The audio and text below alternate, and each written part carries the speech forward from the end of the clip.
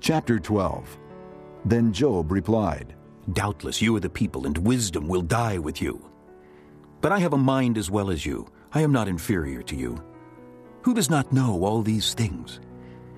I have become a laughing stock to my friends, though I called upon God and he answered. A mere laughing stock, though righteous and blameless. Men at ease have contempt for misfortune as the fate of those whose feet are slipping. The tents of marauders are undisturbed, and those who provoke God are secure. Those who carry their God in their hands.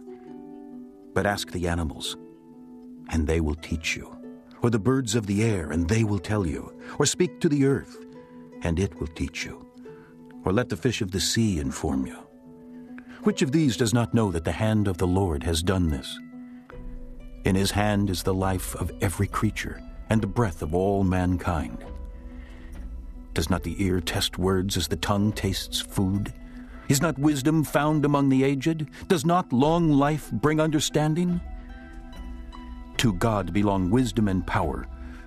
Counsel and understanding are His. What He tears down cannot be rebuilt. The man He imprisons cannot be released. If He holds back the waters, there is drought. If He lets them loose, they devastate the land. To Him belong strength and victory. Both deceived and deceiver are His. He leads counselors away stripped and makes fools of judges. He takes off the shackles put on by kings and ties a loincloth around their waist. He leads priests away stripped and overthrows men long established.